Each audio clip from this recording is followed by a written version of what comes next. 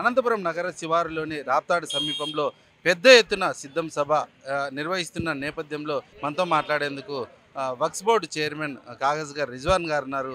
అసలు సిద్ధం సభ ప్రధాన ఉద్దేశం ఏంది అనే దానిపై ఆయన అడిగి తెలుసుకుందాం.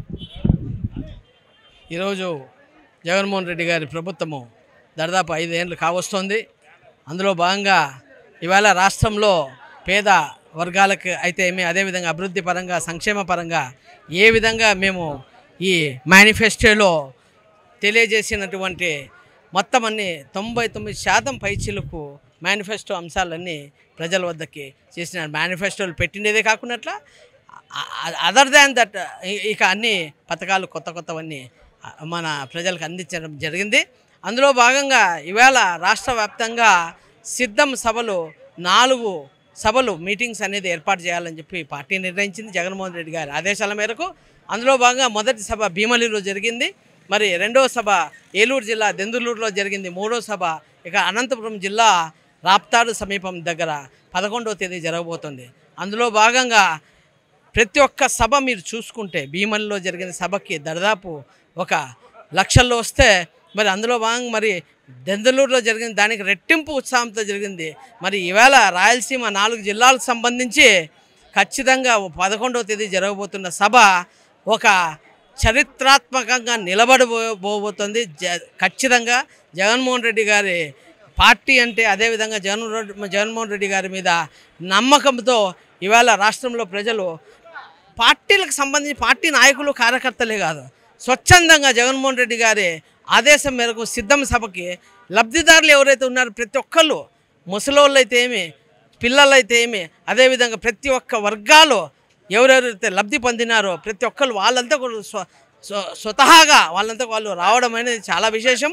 అందులో భాగంగా పదకొండవ తేదీ జరగబోయే సభకి ఖచ్చితంగా మినిమం ఐదు లక్షల పైచిలకు జనాభా కలవబోతున్నారు. ఈ విధ ఈ సభ అనేది చరిత్రలో నిలబడిపోతుంది ప్రతిపక్షాలు తోక పార్టీలు పెట్టుకొని టీడీపీ ఏదేదో మాట్లాడుతున్నారు ఇప్పుడు. జనసేన అంటారు బీజేపీ అంటున్నారు తర్వాత కాంగ్రెస్తో తొప్పుతున్నారు ప్రతి ఒక్కరి ప్రతిపక్షాలు టీడీపీ మన చంద్రబాబు నాయుడు ఎన్ని పొత్తులు ఎన్ని అందరితో కలిసి వచ్చినా కూడా జగన్మోహన్ రెడ్డి గారికి ఎవరేం చేయలేరు. ఈయన చేస్తున్న అభివృద్ధి సంక్షేమ పథకాలే ప్రజలు నమ్మినారు. ఆ రోజు ఆయన ఏ విధంగా ఎలక్షన్ ముందు హామీలు ఇచ్చినారో. ప్రతి ఒక్క హామీని కూడా నెరవేర్చిన ఘనత మా గౌరవ ముఖ్యమంత్రి వైఎస్ జగన్ రెడ్డి గారు. దాదాపు తొంభై తొంభై శాతం హామీలు నెరవేర్చిన ఘనత. అవి చేసినాం కాబట్టి ఈరోజు మేము ధైర్యంగా ఎలక్షన్ కూడా వెళ్తున్నాము. గెలిచినప్పటి నుంచి కూడా ప్రతిరోజు ప్రతి ఇంటి వద్దకే మేము ఉన్నాం. ఏమైనా సమస్యలు ఉన్నాయా? గడప గడపకి వెళ్ళడం కానివ్వండి వైఏపీ నుంచి జగన్ కానివ్వండి నువ్వే నా నమ్మకం కానివ్వండి జగనన్న ఆరోగ్య సురక్ష కానివ్వండి ఆరోగ్య జగనన్న సురక్ష కానివ్వండి అనేక పథకాలు ఈరోజు ఎవరు చేయని విధంగా దేశ చరిత్రలోనే ఒక్కరు చేసిండరు. ఈరోజు అన్ని విధాలుగా మన గౌరవ ముఖ్యమంత్రి వైఎస్ జగన్ ప్రతి ఒక్కరు ఇంటి వద్దకు పోవాలా? ఇంకా ఏమైనా సమస్యలు ఉంటే మీరు కనుక్కోవాలా? అనే ఉద్దేశంతో ఈరోజు మేము ధైర్యంగా కూడా ఎలక్షన్ వస్తున్నాయి కూడా మనకేం ఇబ్బంది లేదు. మేము గెలిచినప్పటి నుంచి కూడా ప్రతిరోజు గడప వద్దకే ఉన్నాం. మీకు ఇంకా ఏమైనా సమస్యలు ఉంటే చెప్పండి మేము ఖచ్చితంగా చెప్పిస్తాం. గడప గడప మన ప్రభుత్వం ఎప్పుడైనా చూసినారా? అంటే దేశ చరిత్రలో ఎక్కడ ఉండదు కార్యక్రమం? గడప వద్దకు వెళ్ళి మీకు ఇంకా ఏమైనా అర్హులు ఉన్నా కూడా ఎవరైనా రాకపోయిన వాళ్ళకి కూడా మేము ఇంకా సంక్షేమ పథకాలు ఏమో అందకపోతే మాకు చెప్పండి మేము చేస్తామని చెప్పి మా గౌరవ శాసనసభ్యులు కానివ్వండి ఎంపీ కానివ్వండి ప్రతి ఒక్కరు ఇంటి వద్దకు వెళ్ళి కూడా మేము చేసిన ఇది కూడా మీరు అందరూ గమనించాలా? రాబోయే రోజుల్లో మాకు ఎలక్షన్ అని కూడా కొత్తగా ఏం లేదు. మేము చేసినాం కాబట్టి ధైర్యంగా వెళ్తున్నాం. ప్రజల్లో ఇప్పటికే మేము ఇంటింటి కార్యక్రమం చూస్తున్నాం.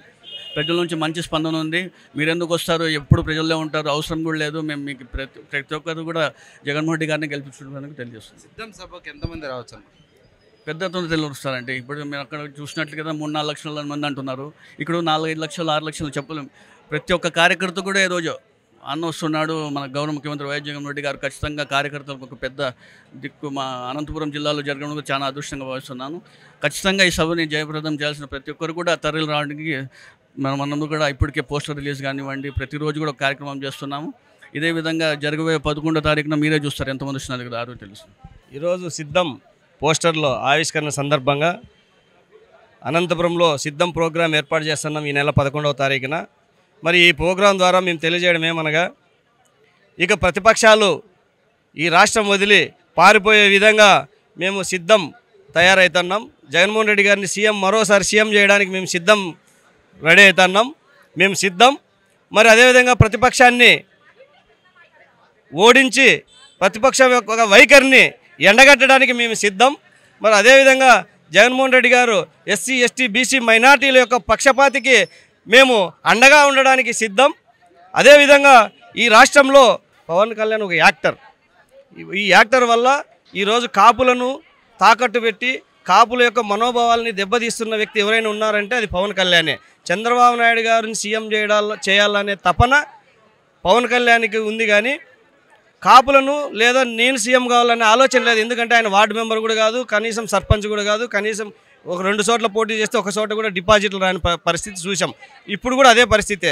కాబట్టి ఆయన మనుగడ లేని వ్యక్తి. ఆయన గురించి మాట్లాడేదానికన్నా అనవసరమని నా భావన.